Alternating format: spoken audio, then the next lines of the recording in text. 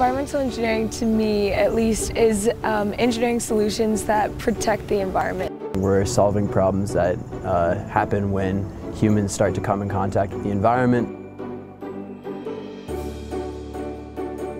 I originally chose this major because uh, I've lived by the ocean my whole life and I've seen firsthand the damage that human society can have on natural ecosystems. I wanted to give back. Here at Notre Dame, um, the environmental engineering curriculum is so much fun. Um, if you're like an environment person like me, you'll take classes like Planet Earth. We have like environmental fluid dynamics tracks. We also do a lot with mineralogy, chemistry, and physics, and water and rocks. It teaches you about global climate change, it teaches you about water efficiency, it teaches you kind of like engineering methods to apply to solving those problems. I've worked in two different labs since starting here. I was doing um, work with crAssphage, which is a viral fecal indicator and searching for uh, crAssphage concentrations both in water and in uh, air filters. Working on a biological wastewater treatment with specifically in removing phosphorus and nitrogen from wastewater streams. I'm on a PhD track, like I want to get my PhD after this,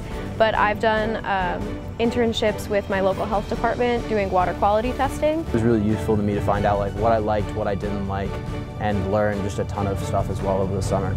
Every professor I've met in our department will go out of their way to help you and help you figure out your career, what you want to do, and put you in the best place to make those decisions. You can walk up to any professor and uh, just ask them about the research, and they're more than happy to accommodate you. You have plenty of resources to help you, and I mean, any major you should want, whether it's environmental engineering or otherwise, you have plenty of opportunities to succeed.